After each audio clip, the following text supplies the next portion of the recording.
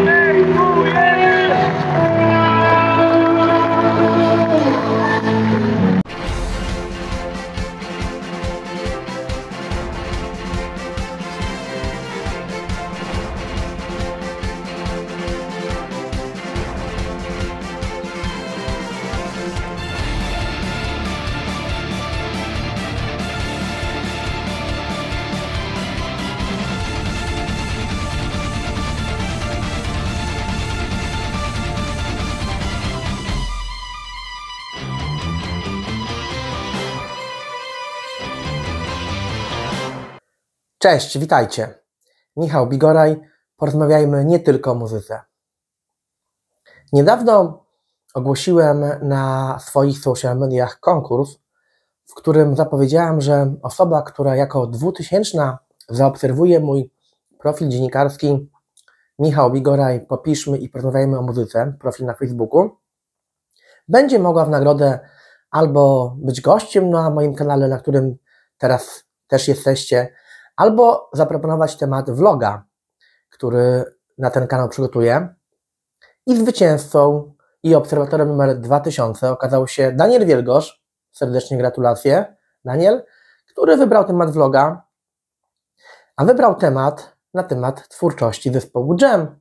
Nie ukrywam, że ten wybór bardzo mnie ucieszył, tym bardziej, że to wszystko zbiegło się z czasem, w którym zespół Jam był e, zespołem chyba najbardziej popularnym w naszym kraju, bowiem zbiegło się to z czasem, w którym zespół dał koncert z okazji swego 45-lecia, koncert w katowickim Spodku, koncert ważny nie tylko z okazji kolejnego jubileuszu, ale przede wszystkim ważny dlatego, że był to ostatni koncert Macieja Balcara w roli wokalisty, a zarazem pierwszy Sebastiana Ridla. Zatem koncert absolutnie historyczny, na którym byłem, z którego zrobiłem relację dla portalu infomusic.pl i tę relację umieszczam w linku do tego filmu. I oczywiście do koncertu będę nawiązywał, ale spełnię życzenie Daniela i nagram vloga na temat twórczości zespołu Jam, tylko że to nie będzie vlog na temat twórczości, bo tak jak powiedziałem, nie będzie vlog na temat y, pełnej twórczości, bo żeby opowiedzieć o pełnej twórczości zespołu Jam, to nie można robić półgodzinnego vloga, tylko kilkugodzinny analityczny materiał, ale przekrojowo będę chciał Wam przybliżyć historię tej no niezwykłej formacji, która towarzyszy nam już tak długo. Oczywiście też z nawiązaniami do tego, co wydarzyło się 6 przepraszam, kwietnia w katowickim spotku. Zespół Jam powstał jesienią 1973 roku, założony przez braci Otrębów, gitarzystę Adama i Benedykta Beno basistę, a także Pawła Bergera, klawiszowca, który na początku był także wokalistą tej formacji. Czasami e, nie mogąc pogodzić gry na klawiszach z wokalem, skupiał się tylko na, na śpiewaniu, bo przede wszystkim był świetnym, sprawnym klawiszowcem i kompozytorem. Po dołączeniu do zespołu Richarda Ridla, charyzmatycznego wokalisty, e, a także harmonikarza, to właśnie Riddle e, objął funkcję frontmana, objął funkcję wokalisty. I przez kilka lat grupa wspomagana także przez innych muzyków, chociażby przez perkusistę Leszka Falińskiego, który miał istotny wpływ na powstawanie pierwszych kompozycji, była takim zespołem na poły amatorskim, nieformalnym, grała przede wszystkim e, cudze standardy, cudze kompozycje, zwłaszcza zachodnie, chociażby Rolling Stonesów czy Santany. E, w tym czasie również skrystalizowała się nazwa zespołu, która pochodzi oczywiście od angielskiego słowa, angielskiego zwrotu jam session, e, czyli jam, jamować, e, a polska nazwa to zasługa jednej z organizatorek koncertu, która chyba nie znając języka angielskiego po prostu spolszczyła tę nazwę na jednym z plakatów e, reklamujących koncert. No i z czasem zespół uznał, że taka spolszczona nazwa jest czymś fajnym i taką nazwę przyjął. Ale tak jak powiedziałam, pierwsze lata twórczości zespołu to były takie lata amatorskie. E, zespół grał w różnych klubach, ale miał raczej lokalną popularność. Wiele zmieniło się, właściwie wszystko zmieniło się latem 79 roku, podczas którego muzycy byli na obozie młodzieżowym w mazurskiej miejscowości Wilkasy i tam powstały pierwsze kompozycje zespołu, Dlatego dwie daty są jakby datowane jako istotne w historii tego zespołu, jeżeli chodzi o jego początki, czyli rok 73, a także rok 79, w którym właśnie owe pierwsze autorskie numery powstały. Dlatego zespół e, obchodził urodziny w tym roku 45. E, w tym czasie, e, lata 70., przełom lat 80., do zespołu dołączył gitarzysta będący z nim do tej pory, z krótką przerwą, E, Jerzy Styczyński i e, efektem e, tego, że ta działalność nabrała rozpędu, był pierwszy singiel zespołu, który ukazał się oficjalnie w roku 1982 i na tym singlu znalazły się utwory Puff i Whisky.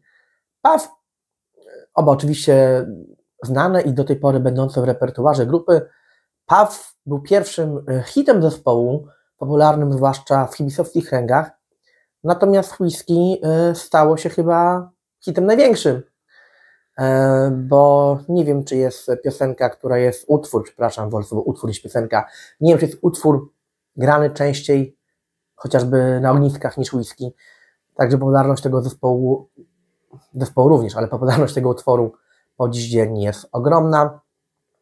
E, co ciekawe, to te pierwsze koncerty dżemu w latach 80., jakby z opinii świadków i będących ludzi na tych koncertach, yy, były określane często mianem wręcz misterium. Rzadko kiedy mówiło się o, yy, rzadko kiedy mówiło się o po prostu dobrej zabawie, a mówiło się o przeżyciu duchowym, bowiem yy, charyzmatyczny Riddle pięknie te swoje teksty, bo on był głównie autorem tekstów, interpretował bardzo emocjonalnie, był osobą bardzo wrażliwą, otwartą, ale jednocześnie charyzmatyczną, a do tego dochodziła naprawdę znakomita warstwa instrumentalna, bo zespół, chociaż korzenie miał w takim tradycyjnym bluesrockowym graniu, inspirowanym chociażby twórczością wspomnianych Stonesów, no to e, jednak też umiejętnie z innymi gatunkami muzycznymi flirtował, chociażby z country, e, boogie, a nawet funky, czy nawet później soulem, ale do tego dojdziemy jeszcze. E, w roku 1985 pojawiła się bardzo długo oczekiwana pierwsza płyta studyjna zespołu Cegła. E, wprawdzie była ona poprzedzona koncertówką o nazwie mm, na początku Jam, a później figurującą już od lat 90. pod nazwą e, Dzień, w którym pękło niebo, czyli był to zapis koncertu z festiwalu Fama w Świnoujściu w roku 1984, ale pierwszym albumem studyjnym była Cegła, która właściwie mm, dla wielu jest albumem do dzisiaj najlepszym e, tej formacji, absolutnie kultowym, z którego pochodzą e, kapitalne utwory, chociażby Czerwona Cegła oczywiście także. No i dodajmy, że ta płyta, jakby nie patrzeć, powstała po 12 latach, odkąd zespół zaczął funkcjonować. Zatem mało który polski zespół tak długo na swój debiut czekał, ale czekać było warto, bo płyta jest do dzisiaj klasykiem a zespół Jam, także dzięki tej płycie, do dziś jest najdłużej nieprzerwanie działającym polskim zespołem rockowym. Niestety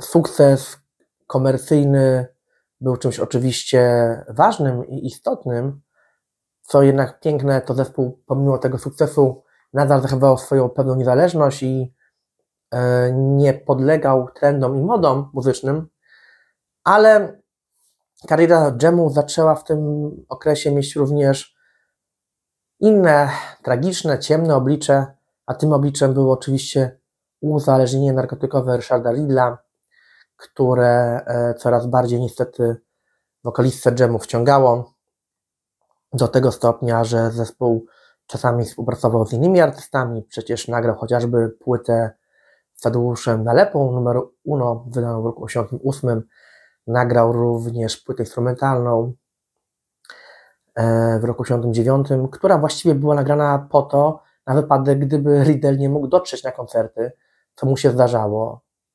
Zdarzało mu się spóźnić, zdarzałoby się mu, przepraszam, zdarzało mu się być e, niedysponowanym. E, te jego narkotykowe nałogi zataczały coraz większe kręgi, otaczał się ludźmi, którzy też e, go niestety na tą ciemną stronę mocy przeciągali. I często też o tych swoich problemach pisał w swoich tekstach, które były bardzo takie autobiograficzne, chociażby utwór Niewinni, część 1 i 2, ale także Whisky, e, czy chociażby Outsider, w którym śpiewa słynną frazę ja już nigdy się nie zmienię, zawsze będę żył już tak, którą możemy traktować poniekąd jako no, pewną godną dumną, ale jednak kapitulację i przyznanie się do tego, że on nie jest w stanie zmienić siebie. Nie byli go też w stanie zmienić i wyciągnąć z nałogu koledzy, chociaż próbowali. Jeszcze z Ridlem zespół wydał y, świetne płyty. Zemsta Nietoperzy, rok 87, Najemnik, rok 89, Detox, rok 91. I album, z którego pochodzi wspomniany Outsider, czyli tak samo zatytułowany krążek z roku 1993. Niewiele później Richard Riddle zmarł. Przyczyną bezpośrednią była niewydolność serca, ale oczywiście wiemy, że to narkotyki były przyczyną pośrednią i one go do takiego stanu doprowadziły. Już po jego śmierci zostały wydane płyty z koncertami, z utworami w wersjach akustycznych, E, i były to ostatnie nagrania zarysowane za życia Ridla, chociaż płyta akustycznie, suplement była wydana już po jego śmierci.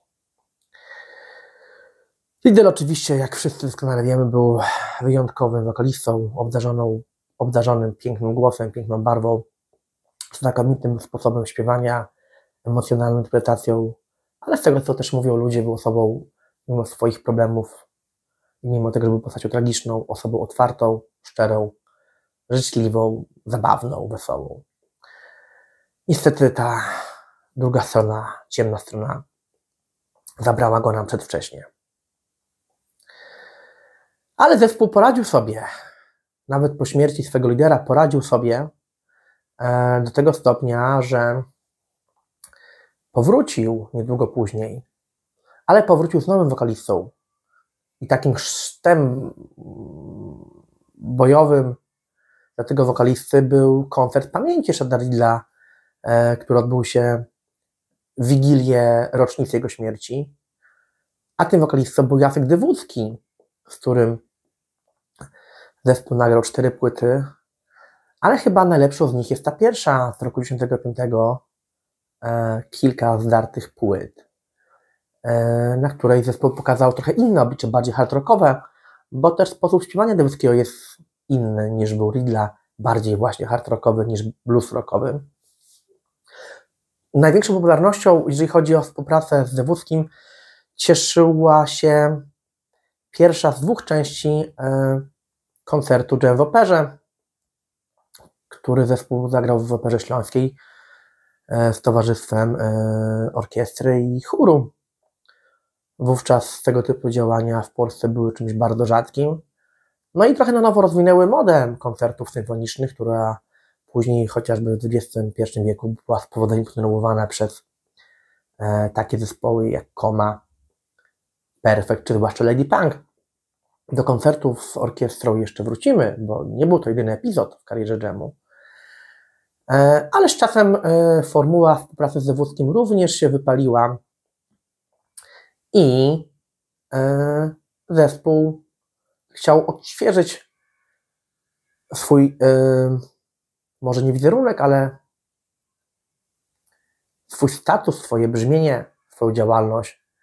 Doprowadziło to do tego, że wokalistą został Maciej Balcar, który dołączył do zespołu w 2000, 2001 roku, a pierwszą, jedną z tylko dwóch płyt nagranych z Balcarem był album 2004, wydany właśnie w roku 2004. Balcar był i jest wokalistą o charakterystyce zbliżonej do Ridla, śpiewa w podobny sposób, ale w jego głosie można usłyszeć też takie naleciałości soulowe, dlatego też twórczość jamu z Balsarem takiego trochę soulowo-popowego charakteru poniekąd także nabrała. Drugą płytą nagraną z Balsarem i niestety, jak już wiemy ostatnią, w ciągu 23 lat współpracy, co też dużo o tej współpracy mówi, była płyta Muza z roku 2010. E, I Później jeszcze wprawdzie wyszło wydawnictwo symfonicznie, jam symfonicznie, e, czyli kolejny mariaż muzyki jamu z muzyką poważną, tym razem z muzykami e, symfonicznymi z Poznania, którzy mm, wspomagali jam na koncertach, które cieszyły się dużym powodzeniem i były bardzo fajnym projektem. Zresztą relacje z jednego z takich koncertów zamierzam zamieścić jutro na moim profilu dziennikarskim na Facebooku. Polecam Wam śledzenie tego profilu. I zespół przede wszystkim koncertował. E, koncertował dużo z Balsarem, natomiast płyt nie nagrywał, co rodziło coraz większą frustrację wśród fanów, ale także wśród samego Balsara z pewnością, który, jak wiemy, tę płytę chciał wydać. W międzyczasie rozwinął skutecznie swoją karierę solową. Niestety płyty z zespołem się nie doczekał. I e, tajemnicą Polichinella jest to, że właśnie fakt tego, że tej płyty się nie doczekał, był jednym z elementów tego, że praca zespołu z Balsarem dobiegła końca. Ale o kulisach tej współpracy i tego, jakie były jej główne przyczyny, być może uda mi się porozmawiać na tym kanale z Maciejem Balsarem właśnie, z którym wczoraj rozmawiałem i który wstępnie wyraził zgodę być moim gościem Zatem myślę, że do tego dojdzie. I przechodzimy płynnie do e, czasów bieżących, które są poniekąd klamrą całej twórczości dżemu, no bo jak wiemy, teraz w roli wokalisty tego zespołu będzie i już jest od soboty Sebastian Riedel, syn Ryszarda, oczywiście obdarzony podobnymi warunkami wykonanymi, ale jednak gorszymi niż ojciec. Jednak życzę mu wszystkiego najlepszego, chociaż jego pierwszy koncert moim zdaniem był, mówiąc delikatnie, średni, zwłaszcza pierwszy utwór, który wykonał, a więc naiwne pytania, ale miejmy nadzieję, że mówiąc kolokwialnie, pierwsze koty za płoty i Riddle Junior się dotrze i te tryby będą się coraz lepiej zazębiać. I to będzie wspaniała klamra dla tego zespołu. Zespołu, który nie ma odpowiednika nie tylko w Polsce, ale i na świecie, bo powiedzcie mi, który inny polski i światowy zespół najpierw miał kultowego wokalistę, który już za życia stał się legendą. Później miał jeszcze dwóch innych wokalistów, z których ten drugi był w zespole dłużej niż ten, który był wokalistą pierwotnym, chociaż zespołem nagrał tylko dwie płyty, a następnie klamrą działalności zespołu jest zamiana kolejna w roli wokalisty i dołączenie do niego syna owego kultowego wokalisty, o którym mówiłem na początku tej dygresji.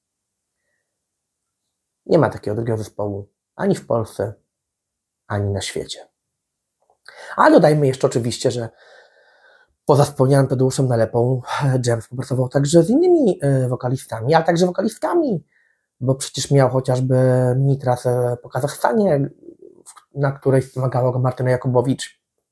Współpracował mm, epizodycznie z Małgorzatą Ostrowską, nagrał płytę Ciśnienie w roku 90 trzecim czy pierwszym, już teraz nie pamiętam, e, ze Sławkiem Wierzcholskim, znanym bluesmanem i harmonikarzem znakomitym. A wspomniany Riddle, junior Sebastian, także z zespołem Jam wielokrotnie współpracował. Po stronie innych e, rzeczy, które są dla zespołu Jam charakterystyczne, warto wspomnieć chociażby, kogo oni supportowali, bo w Polsce taką listą nie może nikt poszczycić. Przecież oni supportowali Rolling Stonesów na koncercie na Stadionie Śląskim w Chorzowie w 1998 roku. Supportowali ZZ Top w Operze Leśnej w 1996 roku. Co ciekawe, to przecież Beno Otręba wizerunkowo i muzycznie, tak wizerunkowo, bo porównacie sobie chociażby brody, stylizował się na basiście e, ZZ Top Dustin Hillu. A wspomniani Rolling Stonesi byli wielką inspiracją dla zespołu Jam. Zresztą e, Riddle był fanem Richardsa. Po stronie wielkich gwiazd, e, które zespół Jam supportował, warto wymienić chociażby także Erika Claptona, Lynyrd Skynyrd czy ACDC. Żaden inny polski zespół nie ma takiego, takiej wizytówki. Wspaniałą wizytówką dla tego zespołu jest także to, że Metallica przecież na koncercie w krakowskiej Taron Arenie w kwietniu 2018 roku wykonała ich utwór. Utwór Mechiku Czasu. Mój ulubiony utwór dżemu ze słowami Ridla i muzyką Adama Otręby. Oczywiście Adam Otręba, podobnie jak jego brat Beno, Benedykt, ale także Jerzy Styczyński, Zbigniew Szczerbiński, perkusista od 10 roku, drugiego roku zespołu Janusz Bożucki, klawiszowiec, na tym koncercie byli, ale pamięcią i swoją obecnością byli tam także zmarli muzycy. Oczywiście przede wszystkim Richard Riddle, ale także Paweł Berger, niezwykle istotny człowiek dla tego zespołu, który zmarł tragicznie w roku 2005, w styczniu, na początku tamtego roku, w wypadku samochodowym, który miał miejsce, jak zespół wracał z koncertu akustycznego w Rzeszowie. E, I Paweł Berger, będący przyjacielem Macieja Baltara i chyba najlepszą osobą w zespole, także podczas sobotniego koncertu był należycie uhonorowany. Podobnie zresztą jak e, wszyscy, którzy e, w tym zespole byli. Zespół Jam to fenomen.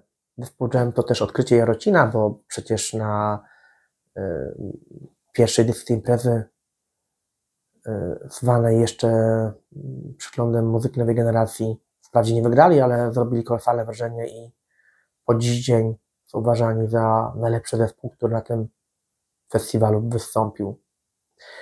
Y, Zespół, który, tak jak powiedziałem, pomimo tego, że odniósł sukces komercyjny, chociaż za często w mediach on nigdy nie był, nie jest poza kilkoma wielkimi hitami, to zawsze postawał muzycznie niezależny i zawsze bronił się swoją wartością artystyczną i konsekwencją, pomimo tego, że tych wokalistów było przecież kilku. Zespół, który nadal będzie grał, mam nadzieję, że jak najdłużej, mam nadzieję, że doczekamy 50-lecia w katowickim spotku. Nie istnieje już festiwal e, Tyski imienia Ryśka Ridla, Kut przez Rodę. Co ciekawe, to pierwszy koncert Macieja Balcara miał miejsce właśnie e, na tym festiwalu w roku 2001. Ale zespół Jam ma swoich wiernych, oddanych fanów, ma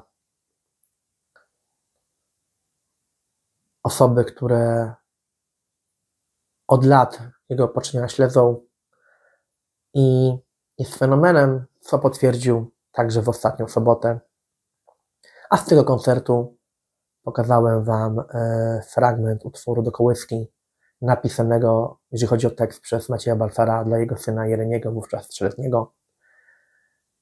I był to ostatni utwór, który Maciej Balfar w roli wokalisty Jimu zaśpiewał.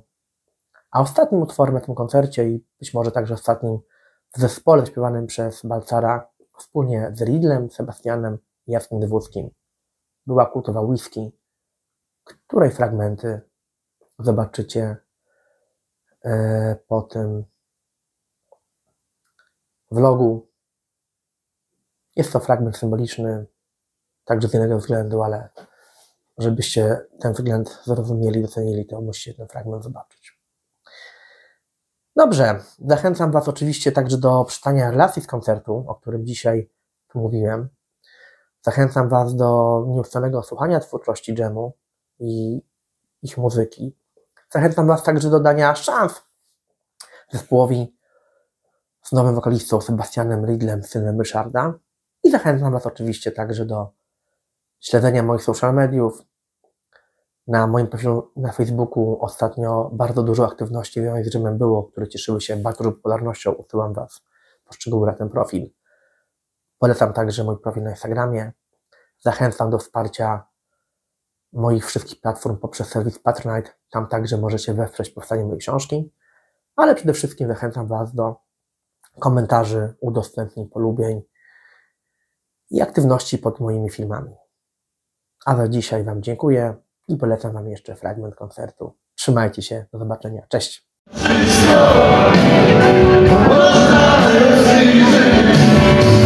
Nie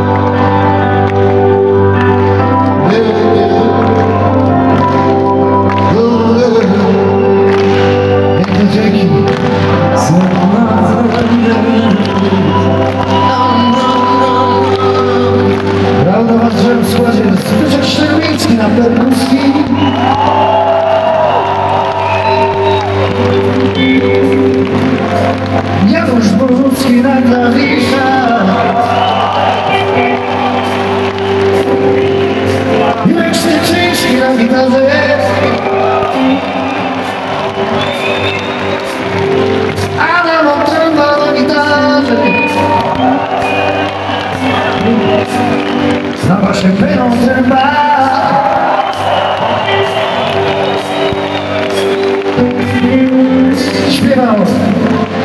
Jacek Załucki Śpiewał Maciej Warszak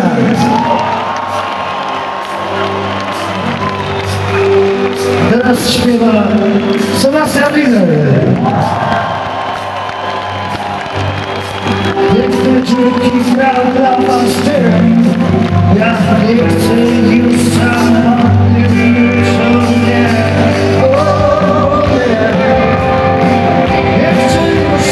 on.